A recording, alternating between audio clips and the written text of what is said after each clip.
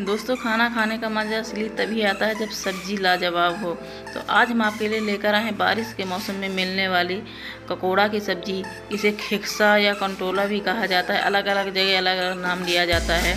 आज इसे हम बहुत ही बेसिक और सिंपल मसालों से बनाएँगे, पर ये सब्ज़ी खाने में बहुत ही चटपटी और टेस्टी बनकर तैयार होगी। और ये बारिश के मौसम में मिलने वाली खास सब्ज़ी है। तो इसको आप एक बार बनाकर ज़रूर एंजॉय कीजिए। और पसंद आए तो मेरे चैनल को लाइक चैनल पे नए प्लीज़ चैनल को सब्सक्राइब ज़रूर कीजिएगा। तो चलिए स्टार्ट करते हैं बनाना। हेलो एवरीवन मैं हूँ Sheela. Welcome back my channel cooking with Sheela में। तो फ्रेंड्स कैसे हो आप लोग? आई होप आप लोग बहुत अच्छे होंगे। फ्रेंड्स हम ग्रहणियों का काम है कि अपनी फैमिली को अच्छा अच्छा खाना बना के खिलाना। उसके लिए हमें लगातार कोशिश करनी चाहिए कि हम जो भी बना रहे हैं वो खाने में टेस्टी हो भले हो सिंपल हो। तो, तो आज की मेरी रेसिपी है ककोड़ा की सब्ज़ी यानी ये हमारे यहाँ खिक्सा बोला जाता है। तो ये मैंने छोटा वाला देसी जो खिक्सा था उसको लिया बहुत ही फ्रेश और ताज़ा है। इसको हमने धो के अच्छे से साफ़ कर लिया था। अब इसको हम कट कर लेंगे तो बहुत पतला और बहुत मोटा नहीं कट करना। हम एक ककोड़े में आठ से नौ भाग कर लेंगे। तो ये देखिए, ऐसे कट करके हमने तैयार कर लिया है सारा खिक्सा और ये हल्का फुल्का कोई पका था तो हमने बीज निकालने की कोशिश की, पर ये छोटा होता है ना तो उतना जो है मुश्किल होता पर ज़्यादा नहीं था। अब हमने एक कढ़ाई में तेल रख दिया है और हमने सरसों का तेल, यानी मस्टर्ड ऑयल, आप जो भी यूज़ करते हो खाने में, जो भी तेल आप उसको ले सकते हो। और हमने इसमें बड़े चम्मच, दो चम्मच, तीन तेल डाला है। और इसमें हमने खेक्सा डाल दिया है और इसको फ्राई कर रहे हैं हाई फ्लेम पे। तो अगर आप चाहो तो इसको डीप फ्राई भी कर सकते हो, पर उसमें बहुत ज़्यादा ऑयली हो जाता है।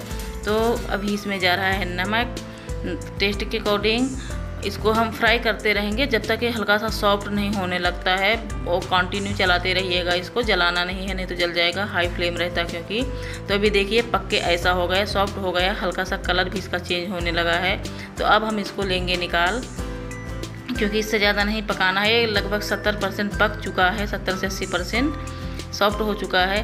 तो अब इसको मैंने सारा निकाल लिया है। उसके बाद हम करेंगे आगे की तैयारी। तो मैंने सेम वही कढ़ाई ले लिया है। उसमें फिर मैंने मस्टर्ड ऑयल डाल दिया। इसमें डाला मैंने एक चम्मच जीरा। जीरे को थोड़ा सा तड़कने देंगे। उसके बाद जाएगा इसमें कुछ लहसुन की कलिया कट कर लिया। एक हरी मिर्च और एक साबुत लाल मिर्च डाल देंगे। इनको भी हल्का सा चलाते हुए पकाएँगे, बस कुछ सेकेंड के लिए। अब डाल देंगे इसमें, बड़ा साइज़ का एक मैंने प्याज कट करके ले लिया है उसको। और इसको भी चलाते हुए गोल्डन ब्राउन होने तक पकाएँगे। बहुत ज़्यादा जो है इसको नहीं पकाएँगे कि बिल्कुल से लाल कर दे। बस हल्का सा गोल्डन ब्राउन होने तक चलाते हुए पका लेंगे। तो प्याज अभी पककर तैयार हो गया है, देख सकते हो आप कलर चेंज कर दिया है। अब इसमें जाएँगे कुछ और मसाले। सबसे पहले जाएगा इसमें हाफ़ चम्मच हल्दी पाउडर, एक चम्मच भर के धनिया पाउडर, चम्मच छोटा था तो मैंने दो चम्मच लिया है। और उसके बाद जाएगा इसमें लाल मिर्च पाउडर, गरम मसाला। तो लाल मिर्च पाउडर आप जितना तीखा पसंद करते हो, उतना ले सकते हो। उसके बाद एक चम्मच भर के हमने कश्मीरी लाल मिर्च डाल दिया है। तीखी नहीं होती, पर इससे कलर बहुत अच्छा आएगा। मसालों को हल्का सा पकाएँगे, बस दो सेकंड के लिए उसमें डाल देंगे थोड़ा सा पानी ताकि मसाले जले नहीं। अब इसमें जाएगा फाइन चॉप टमाटर तो टमाटर मैंने चार लिए हैं, बड़े साइज़ के नहीं हैं मीडियम साइज़ के हैं। अगर बड़े साइज़ के हैं तो आप दो ही लीजिएगा।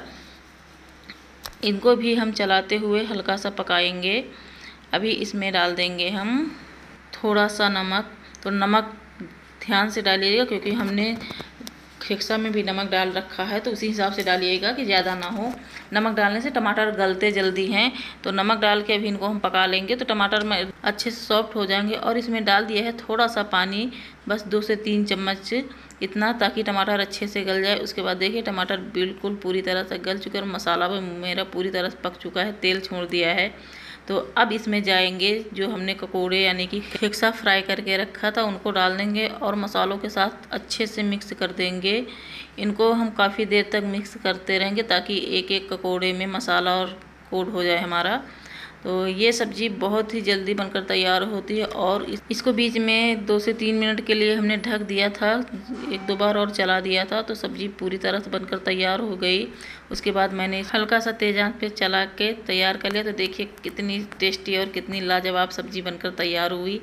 देखने में लग रही जितनी ज़्यादा टाइमटिंग उससे कहीं ज़्यादा खाने में भी अच्छी है। तो अगर आपको ज़रा सा भी ये सब्ज़ी पसंद आई हो तो प्लीज़ एक लाइक कर दीजिए, चैनल पे नए हो तो प्लीज़ चैनल को सब्सक्राइब कर दीजिए, बगल में बेल आइकन भी प्रेस कर दीजिएगा ताकि मेरी आने वाली वीडियो आप तक पहुँच सके। तो